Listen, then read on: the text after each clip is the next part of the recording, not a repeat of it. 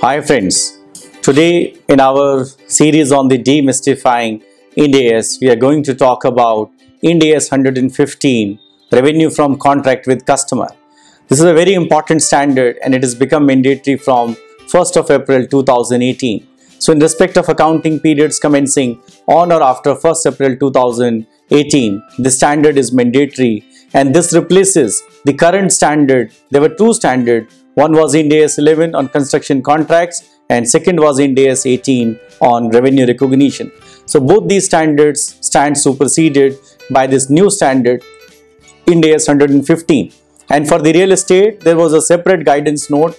That guidance note will also get withdrawn uh, because of the mandatory applicability of this standard. So under this standard, revenue is a five-step model. So we typically call it a five-step model. The step one is identify the contract with the customer. In identifying the contract with the customer, it's important that an entity carefully analyzes whether there is a contract with the customer or not. If there is no contract, there will be no revenue. However, the contract need not always be in writing. Contract can be oral, contract can be express or contract can be implied contract. The second step is identify the separate performance obligation in a contract. It is possible that a contract has multiple elements. Say for example, supply and installation. Now supply of goods and installation may be two separate performance obligations. If there are two separate performance obligations, an entity should identify those performance obligations. Third is determine the transaction price. Now, under Ind AS 115, transaction price determination is not straightforward. It has many significant issues which needs to be carefully analyzed. Say for example, if there is a financing component which is involved in a transaction price. Say for example, the credit period allowed to an entity to a customer is 2 years and the goods are supplied to him for 1 lakh rupees.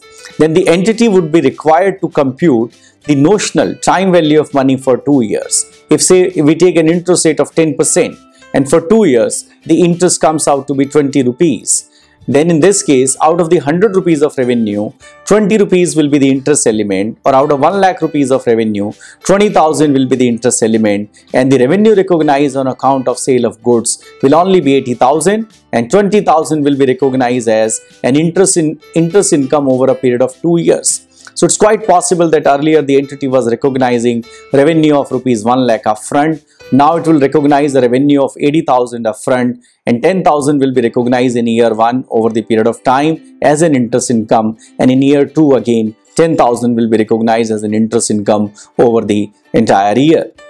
Similarly, if a customer has given an advance, then again the notional interest cost is to be computed and the revenue needs to be adjusted there is a practical expedient which has been given and that practical expedient is up to one year. That is, if the advance component is for a period of up to one year or the credit period is up to one year, then a company may not find out the time value of money. Another important point relating to the transaction price is the variable consideration. There is a very peculiar uh, requirement of Ind AS 115 and that is to estimate the variable consideration. Consider an entity which is considering that its revenue, fixed revenue will be 1 crore rupees and there will be a variable consideration of up to 40 lakh rupees. It needs to see what are the scenarios, what is going to be the variable consideration, what are the like, likely outcomes. If it goes on a most likely outcome approach and it says most likely we will get 20 lakh rupees as a variable consideration, then its revenue will be 1.2 crore rupees, which will be recognized depending upon uh, the other revenue recognition criteria prescribed in the standard. However, if the entity estimates that there can be various scenarios or various probabilities associated with those scenarios, then it is required to compute an expected value. Consider this case. If the entity expects that there is a 10% probability that the variable consideration will be zero and there is a 20% probability that the variable consideration will be 10 lakhs there is a 30% probability that the variable consideration will be 15 lakhs and there's a 40% probability that the variable consideration will be 20 lakhs. In this case, it will be required to compute the expected value. And how it will be computed? 0.1 which is a 10% probability will be multiplied by 0 which comes to 0. Then 0.2 which is a 20% probability will be multiplied by 10 lakhs so we get 2 lakhs. Then 0.3 will be multiplied by 15 lakhs. So we get 4.5 lakhs. And then 0.4 which is a 40% probability will be multiplied by 20 lakhs. Thus the variable consideration will be 0 plus 2 lakhs plus 4.5 lakhs plus 8 lakhs. That is 14.5 lakhs. And the revenue that the entity will be required to be recognized will be 1 crore plus 14.5 lakhs. So it will be 114.5 lakhs. Looks strange but that's the requirement of the standard. And a company will also have to keep the separate calculation for the purpose of income tax and GST because income tax and GST may not accept this figure of revenue recognition and the company will also be required to give a disclosure in its financial statement giving a reconciliation between the contract revenue and the revenue which is recognized by the entity in its financial statements. Step 4 is the allocation of transaction price to the separate performance obligations and this is a very important step. Consider a company which gives loyalty points on the purchases. Say for example, a company gives one reward point for the purchase of 100 rupees of goods and there is a customer which buys 10,000 rupees of goods, he gets 100 reward points. Similarly, a company gets say 1000 customer in a year. So there are 1 lakh reward points which have been given to the customer. Now the company will need to estimate how many reward points are expected to be redeemed by the customer. Suppose the company estimates that 90,000 points are expected to be redeemed by the customer.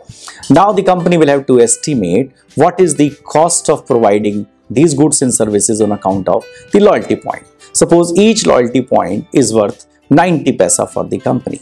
The 90,000 points into 0.9 per point, 81,000 rupees is going to be the expected cost of uh, providing the goods and services in respect of the loyalty points which have been accrued by the customers. If the sale of the company is 20 lakh rupees, then out of 20 lakh rupees, 81 and then the total consideration which the company has given is a 20 lakh rupees of goods and services plus 81 lakh 81,000 rupees of the loyalty points. It will aggregate its consideration uh, to 20 lakh 81,000 and will have to proportionately allocate the revenue between revenue from goods and services and revenue from the loyalty points. And revenue from the loyalty points will be recognized in its financial statements over a period of time when these loyalty points are redeemed by the customers.